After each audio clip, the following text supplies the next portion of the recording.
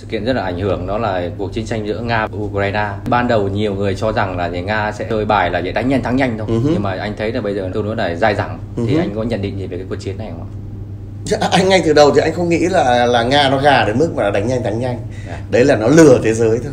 Dạ. đấy là nó làm cho phương tây hiểu sai là nga sẽ đánh nhanh thắng nhanh yeah. anh nghĩ tham vọng của nga trong cái việc này nó lớn hơn rất nhiều nguyên cớ là ví dụ ukraine có pháo kích một vài cái tỉnh như là donbass rồi các thứ vân vân ấy, nó chỉ là nguyên cớ thôi.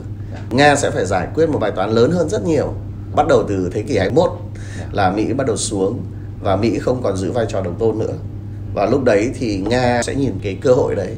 Nếu mà em biết về binh pháp tôn tử thì em sẽ thấy một lãnh chúa thôi. Nhưng mà nếu mà không có một lãnh chúa thì bắt buộc là câu chuyện nó sẽ khác, là nó sẽ phải đấu giữa hai phe. Tức người ta nói là từ đơn cực sang đa cực là như thế ít nhất đa bây giờ là hai. Nga sẽ phải giải quyết một vấn đề là hạn chế ảnh hưởng của nato. Khi mà nato nó cứ kết nạp tất cả những thằng châu âu vào ấy, thì thực ra là nó bao vây nước nga. Cái đòn hiểm nhất là ukraine. Ukraine kiểu như là anh em trong nhà ấy, hai thằng anh em họ với nhau cách đây một nghìn năm nó là cùng một bố. Thế bây giờ uh, thằng mỹ nó lại khuyến khích là thằng thằng em út là quay lại cắn thằng anh cả đi thế thì thằng anh cả đời nào nó chịu thằng em nó láo để nó tát cho nó mấy cái chứ nó vẫn là em tao. Gì chứ chứ còn những cái điều nói lằng nhằng rồi theo luật của mỹ theo luật phương tây mà nga bây giờ không cần luật phương tây nữa. Nó bảo bọn phương tây chỉ là bọn đi đô hộ bọn đi cướp bóc bọn đi áp bức người khác thôi. Cho nên nó chẳng có gì tốt đẹp và nga nó đưa ra luật riêng của nó luật của kẻ mạnh và chiến đấu.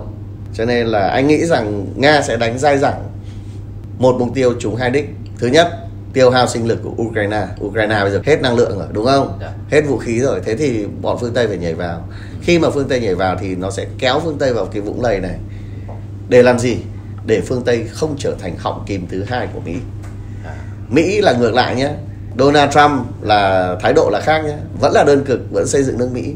Nhưng bây giờ nước mỹ quyết định là gì? Không được. Nếu thế thì toi khi mà biden lên ấy là một trong những cái quyết định của biden anh nghĩ là cực kỳ nguy hiểm. Là biden quyết định là xây dựng hai gọng kìm quyết định là biến tây âu thành một lực lượng của mình. Và Mỹ một lực lượng. Nhưng mà Tây Âu thì bây giờ nó cũng rệu rã rồi Đức một kiểu Anh một kiểu. Nhưng Mỹ trong kỷ nguyên này bắt buộc phải củng cố và đoàn kết Tây Âu lại với nhau trở thành một gọng kìm thứ hai của chủ nghĩa tư bản để hai bên này cùng quay lại để kẹp cổ cái đống còn lại. Còn nga với trung thì nó tự nhiên nó đã tạo ra hai gọng kìm rồi và nên nhớ là trung quốc lên rất mạnh nhé. Bây giờ trung quốc gần như là sắp giàu nhất thế giới rồi. Thậm chí còn giàu qua cả nước mỹ. Có thể là như vậy ok? Trong tương lai ngắn. Từ trước đến nay lịch sử nhân loại nó rất là đơn giản. Nói mãi mà không nghe thì nện nhau. Thực ra chiến tranh thế giới lần thứ ba đã bắt đầu. Xuất phát điểm của nó là gì? Là tây âu và mỹ bắt đầu bơm quân vào ukraine. À, ngày xưa nó chỉ là tiền thôi. Thì bây giờ nó là đưa quân vào. Nga nó sẽ có dự tính rất chuẩn. Nó sẽ giống triều tiên và giống việt nam cuộc chiến này không ngắn. Anh nghĩ là một hai năm tới mà kết thúc không có đâu. Dạ. nó sẽ kéo dài dòng dã hàng chục năm. Và kết thúc vấn đề là gì? Nó sẽ cắt đôi thằng ukraine ra. Dạ. một nửa là theo tây âu một nửa là theo nga. Cho nên cuộc chiến tranh của nga và ukraine nó chỉ là một cái biểu hiện mang tính hình thức dạ. cho một cái cuộc chiến lớn hơn giữa cái gọi là đơn cực với cái đa cực. Và anh tin là đa cực sẽ thắng.